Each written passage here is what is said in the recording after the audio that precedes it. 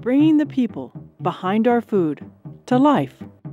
With thermal banking, it's not just heat that we can conserve as a form of energy.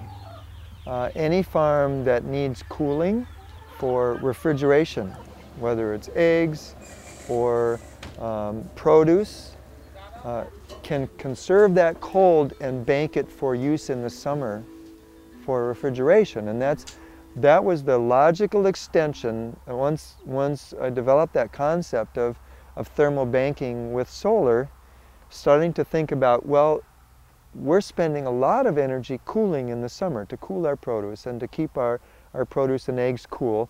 Why not store winter cold? And we're in process building an ice house, which is not a new concept. Many of my Amish friends still have ice houses and, and the town that I grew up in still had an ice, ice house standing when I was a child.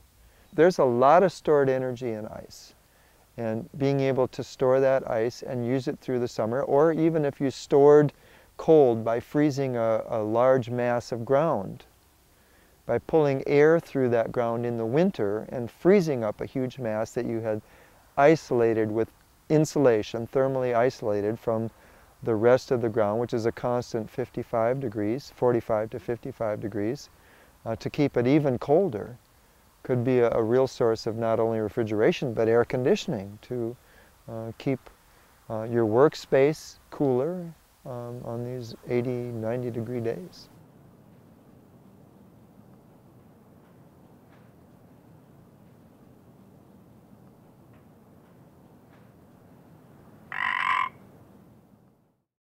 This video has been made possible with funding from Sustainable Agriculture Research and Education, SARE,